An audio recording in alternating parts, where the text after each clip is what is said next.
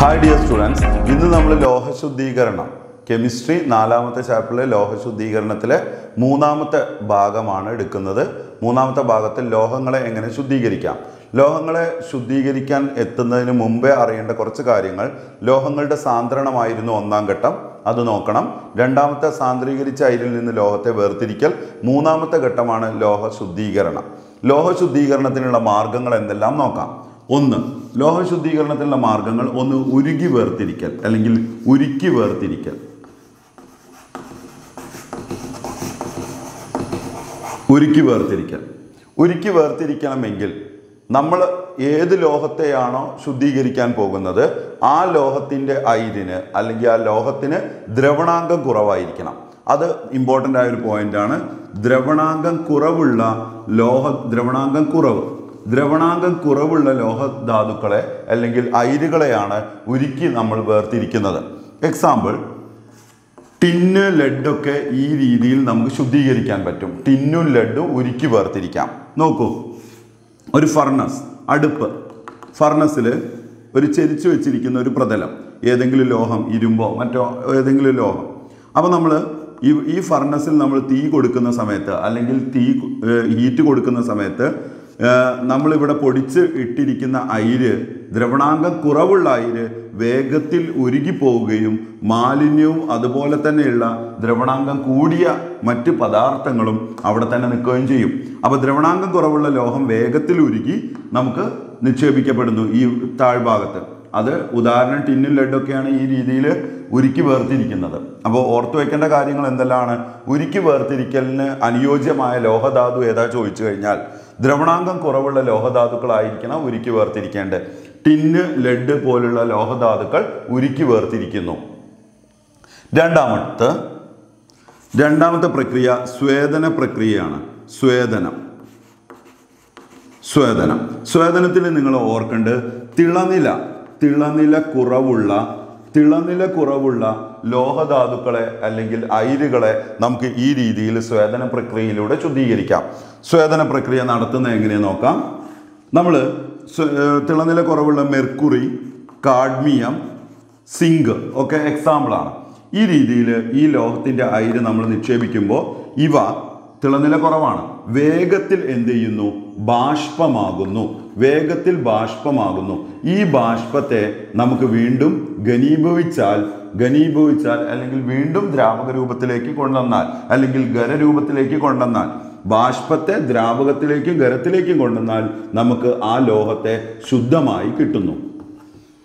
അപ്പോൾ ഇവിടെ ഓർക്കേണ്ടത് തിളനില കുറവുള്ള ലോഹധാതുക്കളെയാണ് സ്വേദന പ്രക്രിയ വഴി നമ്മൾ ശുദ്ധീകരിക്കുന്നത്. മെർക്കുറി ഓർക്കണം കാഡ്മിയം ഓർക്കണം സിങ്ക് ഓർക്കണം. ദ്രവണാംഗം കുറവുള്ള ലോഹധാതുക്കളെയാണ് നമ്മൾ ഉരുക്കി വേർതിരിക്കുന്നത്. മൂന്നാമത്തെ വൈദ്യുത വിശ്ലേഷണം വൈദ്യുതി ഉപയോഗിച്ച് ശുദ്ധീകരിക്കാം. വൈദ്യുത വിശ്ലേഷണം നടത്തണമെങ്കിൽ ഉദാഹരണം കോപ്പർ സിൽവർ ഈ രണ്ട് ലോഹങ്ങളെയാണ് ശുദ്ധീകരണ ഘട്ടത്തിൽ വൈദ്യുത വിശ്ലേഷണം നടത്തിക്കൊണ്ട് ശുദ്ധീകരിക്കുന്നത്. നമുക്കൊരു എക്സാമ്പിൾ നോക്കാം. വൈദ്യുത വിശ്ലേഷണം നടത്താൻ വേണ്ട പ്രധാന പ്രത്യേകതകൾ എന്തൊക്കെ നോക്കാം. മിക്കവാറും ഏതെങ്കിലും ലോഹങ്ങൾക്ക് ക്രിയാശീലത കുറവുള്ള ലോഹങ്ങളൊക്കെയാണ് വൈദ്യുത വിശ്ലേഷണ പ്രക്രിയ വഴി ശുദ്ധീകരിക്കുന്നത്. അതൊന്ന് ഓർത്തു വയ്ക്കാം രണ്ടാമത് ഈ ലോഹങ്ങളെ തന്നെ പ്രത്യേകിച്ച് ഓർത്തു വയ്ക്കണം കോപ്പറും സിൽവറും. നമുക്ക് ഇത് ശുദ്ധമല്ലാത്ത അല്ലെങ്കിൽ അശുദ്ധമായ അശുദ്ധമായ ലോഹമാണെന്ന് വിചാരിക്കും. കോപ്പർ അശുദ്ധമായ കോപ്പറാണത്. ഇത് ശുദ്ധമായ ഒരു കോപ്പർ പീസ് ശുദ്ധമായത്. അപ്പോൾ അശുദ്ധമായ ഒരു കോപ്പർ കഷ്ണവും ശുദ്ധമായ ഒരു കോപ്പർ കഷ് ആവശ്യമാണ്. അശുദ്ധമായ കോപ്പറിന് പോസിറ്റീവ് ചാർജും ശുദ്ധമായ കോപ്പറിന് നെഗറ്റീവ് ചാർജും നൽകുക. ഏത് ലോഹമാണോ എടുക്കുന്നത് അതിന്റെ ലവണ ലായനി തയ്യാറാക്കുക. കോപ്പർ ആണെങ്കിൽ കോപ്പർ സൾഫേറ്റ് സിങ്ക സിൽവർ ആണെങ്കിൽ സിൽവർ നൈട്രേറ്റ് സൾഫേറ്റ് നൈട്രേറ്റ് പോലുള്ള ലവണ ലായനി ചേർക്കുക. അപ്പോൾ ഇവിടെ കോപ്പർ ആണ് എടുക്കുന്നത്. അപ്പോൾ ഇലക്ട്രോലൈറ്റ് ആയി കോപ്പർ സൾഫേറ്റ് പിന്നെ ഇതിലേക്ക് H two S O four sulphuric acid ചേർക്കുന്നുണ്ട്. ഇനി ഇവിടെ പോസിറ്റീവ് ചാർജ് കൊടുത്തത് ആനോഡാണെന്നും നെഗറ്റീവ് ചാർജ് കൊടുത്തത് കാതോഡാണെന്നും അറിയണം. ഒപ്പം തന്നെ നിങ്ങൾക്ക് എല്ലാവർക്കും അറിയാം വൈദ്യുതി ഒഴുകുന്നത് പോസിറ്റീവിൽ നിന്ന് നെഗറ്റീവിലേക്കാണ് അപ്പോൾ ഇവിടെ നിന്ന് ശുദ്ധമായ ലോഹങ്ങളെല്ലാം ലായനിയിലേക്ക് ചേരുകയും അവ ചെന്ന് കാതോഡിൽ നിക്ഷേപിക്കപ്പെടുകയും ചെയ്യും. അപ്പോൾ ശുദ്ധമായ ലോഹമെല്ലാം കാതോടിൽ നിക്ഷേപിക്കപ്പെട്ട് വൈദ്യുത വിശ്ലേഷണം നടത്തുമ്പോൾ നമുക്ക് ശുദ്ധമായ ലോഹം കാതോടിൽ നിക്ഷേപിക്കപ്പെടും. അതെടുത്ത് മാറ്റി വെച്ചാൽ മതി.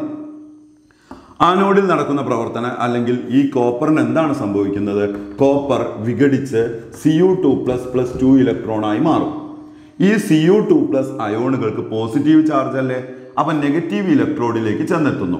ആ നെഗറ്റീവ് ഇലക്ട്രോഡിൽ സി യു ടു പ്ലസ് എത്തിക്കഴിഞ്ഞാൽ അവിടെ നിന്ന് രണ്ട് ഇലക്ട്രോണിനെ സ്വീകരിച്ച് കോപ്പർ ആറ്റമായി മാറുന്നു. അപ്പോൾ ശുദ്ധീകരണ ലോഹ ശുദ്ധീകരണത്തിന്റെ മൂന്നാമത്തെ ഘട്ടം അല്ലെങ്കിൽ ലോഹങ്ങളെ എങ്ങനെയാണ് അവസാനമായി ശുദ്ധീകരിക്കുന്നത്? ഉരുക്കി വേർതിരിക്കാം. ടിന്ന് ലെഡ് പോലുള്ള ലോഹങ്ങളെ ഉരുക്കി വേർതിരിക്കാം. ദ്രവണാംഗം കുറവായ ലോഹധാതുക്കളെയാണ് ഉരുക്കി വേർതിരിക്കുന്നത്. അപ്പോൾ ഇമ്പോർട്ടന്റ് ആയത് അത് മാത്രം ഓർത്ത് വെച്ചാൽ മതി. സ്വേദന പ്രക്രിയ നടത്തണമെങ്കിൽ അയിരിന് തിളനില കുറവായിരിക്കണം. എക്സാമ്പിൾ നിർബന്ധമായി ഓർക്കുക. വൈദ്യുത വിശ്ലേഷണം നടത്തുന്നത് കോപ്പറും സിൽവറുമാണ് ആനോഡ് കാതോടൊക്കെ ഓർത്ത് വയ്ക്കുക പോസിറ്റീവ് നെഗറ്റീവ് ചാർജ് കൊടുക്കുന്നത്. ആനോഡിൽ നടക്കുന്ന പ്രവർത്തനം കാതോഡിൽ നടക്കുന്ന പ്രവർത്തനം ഓർക്കുക. ആനോഡിൽ ഓക്സീകരണവും കാതോഡിൽ നിരോക്സീകരണം നടക്കുക എന്നുള്ളത് നമ്മൾ മുൻ ചാപ്റ്ററുകളിലൊക്കെ കണ്ടിട്ടുണ്ട്.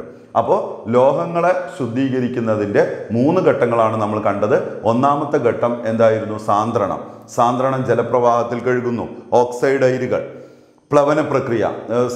സാന്ദ്രണത്തിന്റെ ഒന്നാമത്തെ ഘട്ടം ജലപ്രവാഹത്തിൽ കഴുകുന്നു. ഓർത്തു വെക്കേണ്ട പോയിന്റ് ഓക്സൈഡ് അയിരുകൾ ഓറുകൾക്ക് അല്ലെങ്കിൽ അയിരുകൾക്ക് സാന്ദ്രത കൂടുതലായിരിക്കണം. രണ്ടാമത് പ്ലവന പ്രക്രിയ. പ്ലവന പ്രക്രിയ സോറി പ്ലവന പ്രക്രിയ നടത്തണമെന്നുണ്ടെങ്കിൽ അയിരിന് സാന്ദ്രത കുറവായിരിക്കണം. ഏതൊക്കെ അയിരുകളാണ് ഈ രീതിയിൽ നമ്മൾ നൽകുന്ന സൾഫൈഡ് അയിരുകളാണ് പ്ലവന പ്രക്രിയയിലൂടെ ശുദ്ധീകരിക്കുന്നത്. കാന്തിക വിഭജനം അയിരിനോ അല്ലെങ്കിൽ മാലിന്യങ്ങൾക്കോ എന്തുണ്ടായിരിക്കണം? കാന്തിക സ്വഭാവം ഉണ്ടായിരിക്കണം.